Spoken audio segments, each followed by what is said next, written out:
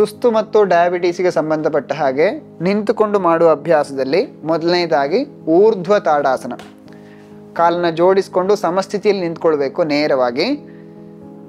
ಎರಡೂ ಕೈಯನ್ನು ಇಂಟರ್ಲಾಕ್ ಮಾಡಿ ಇಟ್ಕೊಳ್ಳಿ ಮುಂದೆ, ಕಾಲನ್ನು ಶೋಲ್ಡರ್ ವಿಡ್ತ್ ಅಪಾರ್ಟ್ ಇಟ್ಕೊಳ್ಳಿ. ಕೈ ಬೆರಳುಗಳು ಇಂಟರ್ಲಾಕ್ ಆಗಿರಲಿ.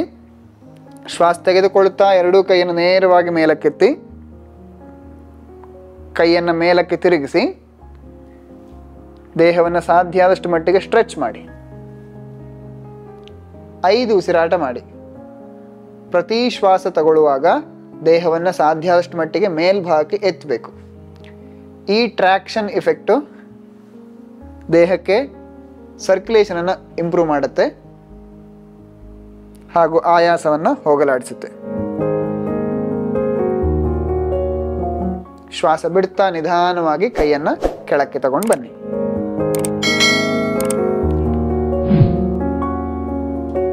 ಈ ಅಭ್ಯಾಸವನ್ನು ಎರಡರಿಂದ ಮೂರು ಬಾರಿ ರಿಪೀಟ್ ಮಾಡಬಹುದು. ಮುಂದಿನ ಅಭ್ಯಾಸ ವೃಕ್ಷಾಸನ. ಕಾಲನ್ನು ಜೋಡಿಸಿ ನಿಂತ್ಕೊಳ್ಳಿ. ಶ್ವಾಸ ತೆಗೆದುಕೊಳ್ತಾ ನಿಮ್ಮ ಬಲ ಕಾಲನ್ನು ಮಡಚಿ ಎಡ ತೊಡೆಯ ಮೇಲೆ ಇಟ್ಕೊಳ್ಳಿ. ಶ್ವಾಸ ಪೂರ್ತಿ ಹೊರಹಾಕಿ. ಶ್ವಾಸ ತೆಗೆದುಕೊಳ್ತಾ ಎರಡು ಕೈಯನ್ನು ನೇರವಾಗಿ ಮೇಲಕ್ಕೆತ್ತಿ. ನಮಸ್ತೆ ಮಾಡಿ. ವೃಕ್ಷದ ಹಾಗೆ ದೇಹವನ್ನು ಬೆಳೆಸ್ತಾ ಹೋಗಿ ಮೇಲ್ಭಾಗಕ್ಕೆ ಐದು ಉಸಿರಾಟ ಮಾಡಿ. ಶ್ವಾಸ ಬಿಡ್ತಾ ನಿಧಾನವಾಗಿ ಕೈಯನ್ನು ಕೆಳಕ್ಕೆ ತಗೊಂಡು ಬನ್ನಿ. ಶ್ವಾಸ ಬಿಡ್ತಾ ಕೆಳಗೆ ಬನ್ನಿ. ಈಗ ಕುಳಿತುಕೊಂಡು ಮಾಡುವಂಥ ಅಭ್ಯಾಸದಲ್ಲಿ ಮೊದಲನೇದಾಗಿ ಶಶಾಂಕಾಸನ ಸಮಸ್ಥಿತಿಯಲ್ಲಿ ಕೂತ್ಕೊಳ್ಬೇಕು. ಬೆನ್ನು ನೇರವಾಗಿರಲಿ. ಶ್ವಾಸ ಪೂರ್ತಿ ತಗೊಳ್ಳಿ. ಶ್ವಾಸ ಬಿಡುತ್ತಾ ಎರಡೂ ಕಾಲುಗಳನ್ನು ಒಟ್ಟಿಗೆ ಹಿಂಭಾಗಕ್ಕೆ ಮಡಚಿ ಹಿಮ್ಮಡಿಯ ಮೇಲೆ ಕೂತ್ಕೊಳ್ಳಿ.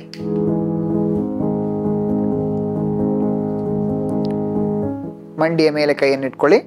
ಶ್ವಾಸ ತೆಗೆದುಕೊಳ್ತಾ ಎರಡೂ ಕೈಯನ್ನು ನೇರವಾಗಿ ಮೇಲಕ್ಕೆತ್ತಿ. ಶ್ವಾಸ ಬಿಡುತ್ತಾ ಮುಂದೆ ಬಗ್ಗಿ ಕೈಯನ್ನು ನೆಲದ ಮೇಲೆ ಬಿಟ್ಟು ಬಿಡಿ. ಸಾಧ್ಯ ಆದರೆ ಗಲ್ಲ ಅಥವಾ ಹಣೆಯನ್ನು ನೆಲಕ್ಕೆ ತಾಗಿಸಿ ದೇಹವನ್ನು ಫ್ರೀ ಬಿಡಿ, ಕೈಯನ್ನು ಫ್ರೀ ಬಿಡಿ.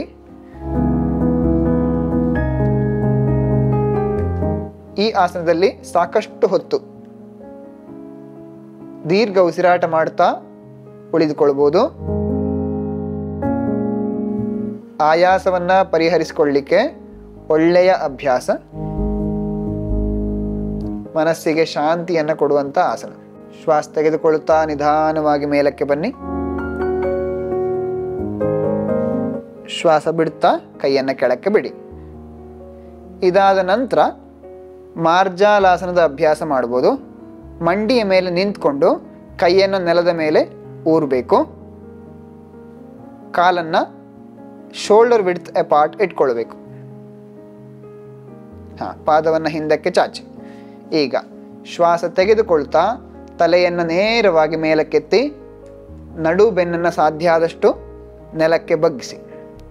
ಮೇಲೆ ನೋಡ್ತಾ ಐದು ಉಸಿರಾಟ ಮಾಡಿ ಶ್ವಾಸ ಬಿಡ್ತಾ ಎರಡನೇ ವೇರಿಯೇಷನ್ ಬೆನ್ನನ್ನು ಸಾಧ್ಯ ಆದಷ್ಟು ಮಟ್ಟಿಗೆ ಮೇಲಕ್ಕೆ ಎತ್ತಿ ಹೊಕ್ಕುಳ ಭಾಗವನ್ನು ನೋಡಿ, ನಾಭಿಯನ್ನು ನೋಡಬೇಕು. ಅಧೋಮುಖ ಮಾರ್ಜಾಲ. ಐದು ಬಾರಿ ಉಸಿರಾಟ ಮಾಡಬೇಕು. ಇದೇ ರೀತಿ ಇನ್ನೊಂದು ಬಾರಿ ಅಭ್ಯಾಸ ಮಾಡಿ. ಶ್ವಾಸ ತೆಗೆದುಕೊಳ್ಳುತ್ತಾ ಊರ್ಧ್ವಮುಖ ಮಾರ್ಜಾಲ. ಐದು ಉಸಿರಾಟ. ಇನ್ನು ಅಧೋಮುಖ ಮಾರ್ಜಾಲ ಶ್ವಾಸ ಬಿಡ್ತಾ ಸ್ಪೈನನ್ನು ಎತ್ತಬೇಕು ತಲೆಯನ್ನು ಒಳಕ್ಕೆ ತಗೊಂಡು ಹೋಗಬೇಕು. ಬೆನ್ನು ಹುರಿಯನ್ನ, ಬೆನ್ನು ಹುರಿಗೆ ಸಂಬಂಧಪಟ್ಟ ಹಾಗೆ ಇರುವಂಥ ಸಮಸ್ಯೆಗಳಿಗೆ ಹಾಗೂ ಅದರ ಟೆನ್ಷನನ್ನು ರಿಲೀಸ್ ಮಾಡಲಿಕ್ಕೆ ಒಳ್ಳೆಯ ಅಭ್ಯಾಸ. ಶ್ವಾಸ ತೆಗೆದುಕೊಳ್ತಾ, ತಲೆ ಎತ್ತಿ ಹಾಗೆ ವಜ್ರಾಸನದಲ್ಲಿ ಕೂತ್ಕೊಳ್ಳಿ ರಿಲೀಸ್ ಮಾಡಿ. ಕಾಲು ಮುಂದೆ ಚಾಚಿ ರಿಲೀಸ್ ಮಾಡಿ.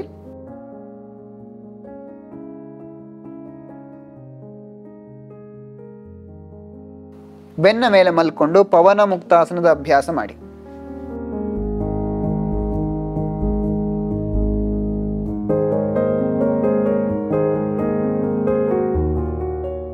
ಪವನ ಮುಕ್ತಾಸನ ಶ್ವಾಸ ಬಿಡ್ತಾ ನಿಮ್ಮ ಎರಡೂ ಕಾಲುಗಳನ್ನು ಮಡಚಿ ಎದೆ ಮೇಲಕ್ಕೆ ತಗೊಂಡು ಬನ್ನಿ.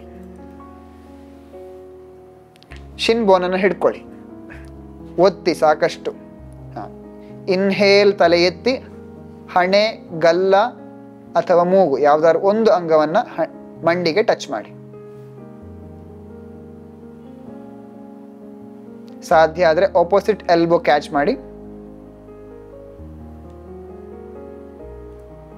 ಇದು ಬೆನ್ನಿನ ಭಾಗಕ್ಕೆ ಸಾಕಷ್ಟು ಆರಾಮವನ್ನು ಕೊಡುತ್ತದೆ ಹಾಗೆ ದೇಹದಲ್ಲಿರುವಂತಹ ಪವನ ಪ್ರ, ಪ್ರಕೋಪವನ್ನು ಹೋಗಲಾಡಿಸುತ್ತದೆ ಪವನ ಪ್ರ, ಪ್ರಕೋಪವು ದೇಹದ ಟಯರ್ಡ್ನೆಸ್ಸಿಗೆ ಒಂದು ಕಾರಣ ಆಗಿರ್ತದೆ. ಶ್ವಾಸ ಬಿಡುತ್ತಾ ನಿಧಾನವಾಗಿ ತಲೆಯನ್ನು ನೆಲಕ್ಕೆ ಬಿಡಿ. ಶ್ವಾಸ ತೆಗೆದುಕೊಳ್ತಾ ಕೈಯನ್ನು ಬಿಟ್ಟು ಕಾಲನ್ನು ಮುಂದಕ್ಕೆ ಚಾಚಿ.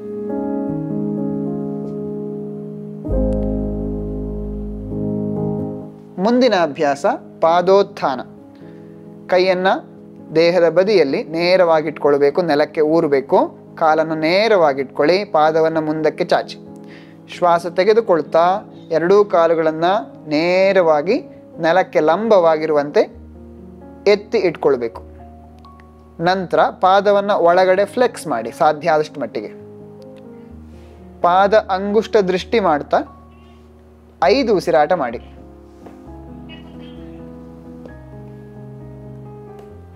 ಇದು ಕಾಲಿಗೆ ಸಂಬಂಧಪಟ್ಟ ಹಾಗೆ ಇರುವಂತಹ ಟಯರ್ಡ್ನೆಸ್ ಅನ್ನು ಹೋಗಲಾಡಿಸ್ತದೆ. ಈಗ ಐದು ಉಸಿರಾಟ ಆದ ನಂತರ ಶ್ವಾಸ ಬಿಡ್ತಾ ನಿಧಾನವಾಗಿ ಕೆಳಕ್ಕೆ ಬನ್ನಿ.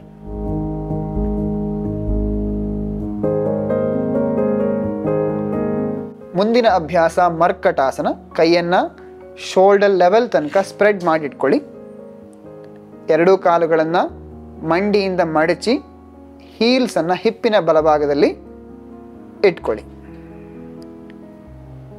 ಶ್ವಾಸ ದೀರ್ಘವಾಗಿ ತಗೊಳ್ಳಿ. ಶ್ವಾಸ ಬಿಡ್ತಾ ನಿಮ್ಮ ಎರಡೂ ಕಾಲುಗಳನ್ನು ಬಲಭಾಗಕ್ಕೆ ತಗೊಂಡು ಹೋಗಿ ನೆಲದ ಮೇಲೆ ಇಟ್ಟುಬಿಡಿ. ಎಡ ಕೈಯ ತುದಿಯನ್ನು ನೋಡ್ತಾ ಐದು ಉಸಿರಾಟ ಮಾಡಿ. ಈ ರೀತಿಯ ಎಲ್ಲ ಟ್ವಿಸ್ಟಿಂಗ್ ಅಭ್ಯಾಸಗಳು ದೇಹಕ್ಕೆ ಆರಾಮ ಕೊಡಲು ಸಹಾಯ ಮಾಡುತ್ತದೆ. ಶ್ವಾಸ ತೆಗೆದುಕೊಳ್ತಾ ಮೇಲಕ್ಕೆ ಬನ್ನಿ. ಶ್ವಾಸ ಬಿಡುತ್ತಾ ಇನ್ನೊಂದು ಬದಿಯಲ್ಲೂ ಈ ಅಭ್ಯಾಸವನ್ನು ರಿಪೀಟ್ ಮಾಡಿ.